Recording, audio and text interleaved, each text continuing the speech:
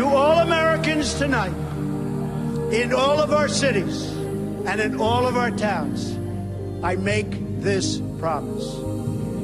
We will make America strong again.